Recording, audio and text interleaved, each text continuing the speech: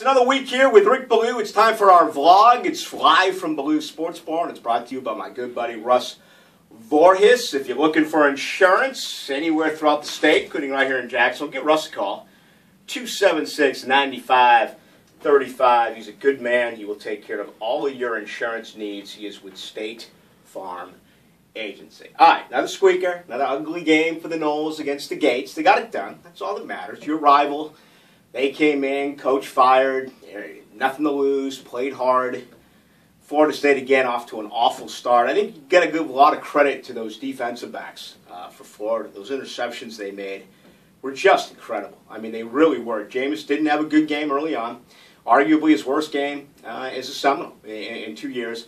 Uh, but they found a way. They overcame it. They played better defensively in the second half. They settled down a little bit, went to Dalvin Cook and uh, we're able to get it done against the University of Florida. All right, here comes Georgia Tech. This is a difficult ball game. For the record, I have not picked Florida State to lose a game going back to 2011 when they faced Oklahoma. I figured the Sooners would catch them that day, and they did. Uh, of course, the win streak is 28 games, but even some of those upsets, Virginia, Florida, NC State. Now, I picked Florida State to win each and every game. This one gets really interesting against Georgia Tech. For starters, FSU is a far more talented team. They have better athletes. They have better NFL prospects. What Georgia Tech is able to do is dumb down the game and take away the great athletic plays by Florida State, particularly on the defense. It becomes a mind game. And this is an issue for FSU, particularly now where it looks like Terrance Smith uh, won't start and may not play because of the knee. Enter Matthew Thomas. Matthew Thomas, much maligned in his career.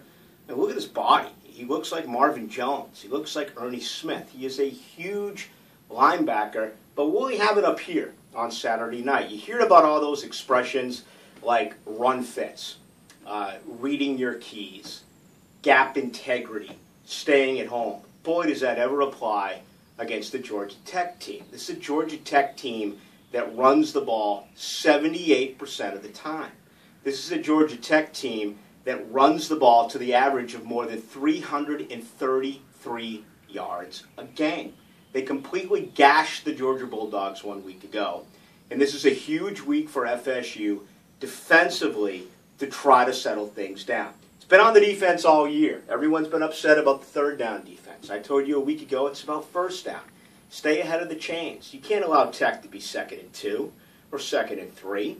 They're going to pick up another first down. They're going to milk the clock. They're going to orchestrate, author, and engineer the 12, 13, 14 play drive, eclipsing six to seven minutes off the clock. What does that do? Less at bats for Jameis. Again, they average more than 12 a game. They only got eight against BC. Really, the only good running team that Florida State has faced this year. look at the Eagles did against Florida State. They ran it right at them. Different style of running. That was power between the guards, right at them, just out muscled FSU with that enormous BC offensive line. This is a little bit more athletic with what they do at Georgia Tech. They're really good when they're able to get off the edge. Okay, they have success between the guards and the tackles, but with this triple option offense, with three guys who carry the ball, including their quarterback, they become especially dangerous when they're able to run off the edge. big game for the ends here. Big game for Walker. Big game for Edwards. Again, you and I both know not a lot of depth. That's a concern for me. The defensive front four, will they stay in that 4 2 5? Boy, if there was ever a team, you absolutely have to go 5 2 or 4 3, it's got to be Georgia Tech. They just don't have enough bodies right now defensively. That's a concern for me. On the flip side, Georgia Tech, 27 is the key number. What is it, he asked? I got it for you. 27 turnovers Florida State has committed. 27 takeaways Georgia Tech has been a part of. This is not a great Georgia Tech defense. However, it's a ball hawking defense. It's a defense that forces a lot of turnovers. If Jameis Winston struggles in the first half like he has all year, that's not good. Tech could get up in this game and it could finally be a situation where Florida State's been trailing all year. They've always been able to come from behind. It's going to be especially tough here against Georgia Tech. I don't like Carlos Williams being out. Cook is a better back, but Williams has experience. He's made some big plays in big games. He's He's better at picking up the blitz. He's better at chipping when you need some help against defensive ends or blitzing linebackers coming from the rambling wreck. He's also got some soft hands out of the backfield. Dalvin Cook has been outstanding. It seems like there's been times where he's gotten hit hard and had to go to the sideline. You really wonder, is he 100%? I also don't have a lot of uh, faith right now in Pender. He hasn't gotten a lot of carries. Just seems like he gets tripped up or doesn't have the vision that Cook has and, and doesn't hit the hole properly. Maybe it's just because of the lack of experience, but boy, I tell you what, something as important as an Atlantic Coast Conference championship game, I really hate that to be the one where you expect the guy to finally get it. Uh, to me, that's a little bit of an issue.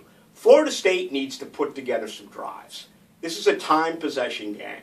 Georgia Tech is one of the best at controlling the clock in all of college football. Florida State has been awful at that this year.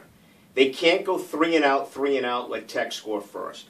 They've got to put together some offensive continuity, do it with a balanced attack, and hopefully Jameis wakes up. I don't know what was wrong with the young man last week. I don't know if it was the hearing, uh, the code of conduct situation, which wrapped up on Wednesday.